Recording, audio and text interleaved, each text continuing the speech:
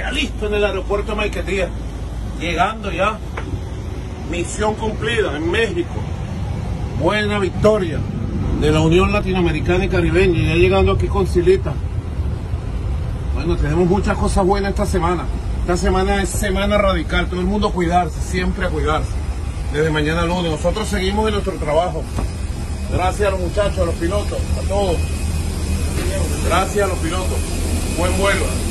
Que Dios me lo bendiga a los dos. Bueno, bueno aquí llegando, en la escalera.